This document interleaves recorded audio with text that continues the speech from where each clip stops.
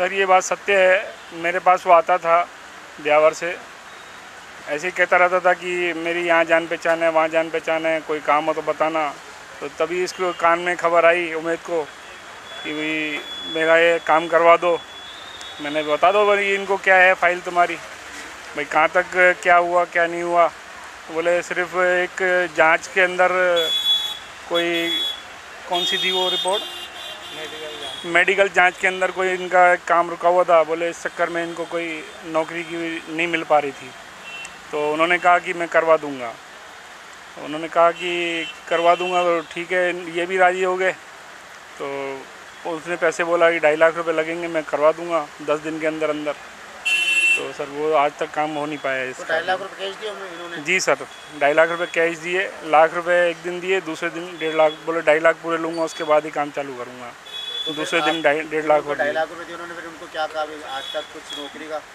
अभी तक तो सर कुछ हुआ नहीं है।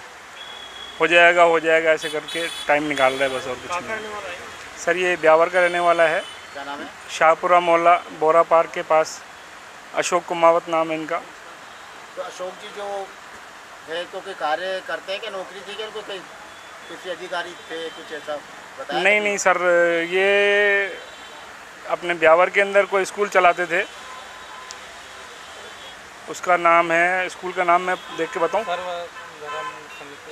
हम्म। आप लोगों ने कैसे विश्वास करके पैसे दे दिए सर ऐसे आता रहता था विश्वास तो अब धीरे धीरे होता है। एक से एकदम से तो होता नहीं है एक बार में तो आया नहीं वो। वो करके जी सर। आपने मुकदमा दर्ज करा दिया? जी सर जी। आपका नाम? विनोद।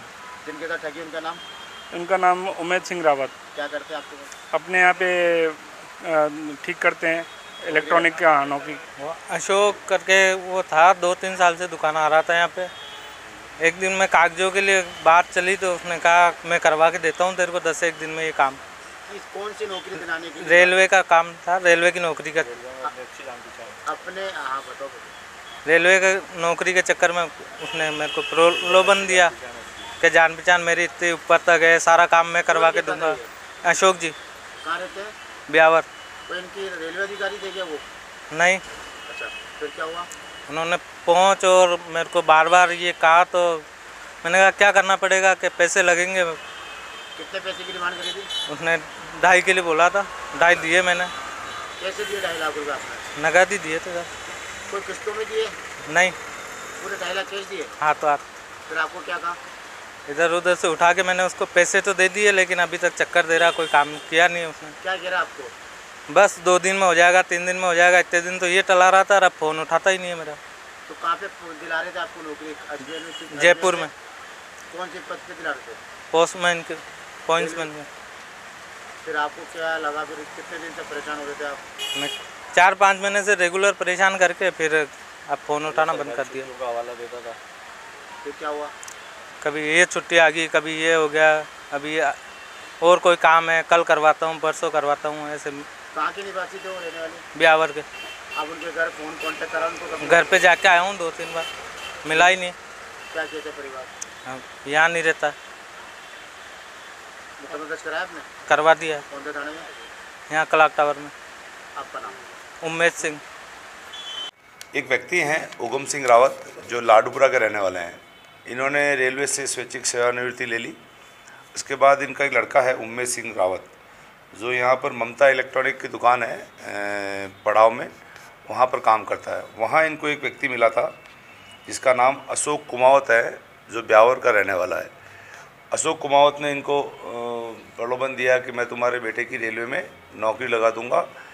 इस बात पर ये बता रहे हैं कि इन्होंने इसको ढाई लाख रुपए दे दिए थे। फिर कुछ दिन बाद उस अशोक कुमावत ने अपनी निजी ज़रूरतें बताकर उनसे सात लाख रुपए और उधार ले लिए थे। और सात लाख रुपए लेने के बाद जब इन्होंने एक दो बार और कभी रेलवे में नौकरी कब लगवा रहे हैं? तो उस आदमी ने उनको मना कर दिया और बताया, तुम्हारे पैसे डूब गए हैं। ऐसा इन्होंने रिपोर्ट दी है। रहने वाले लाडपुरा के हैं और जो भी व्यक्ति है वो ब्यावर का रहने वाला है।